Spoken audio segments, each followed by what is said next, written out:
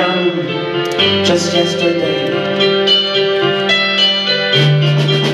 Life is such a simple game a child could play.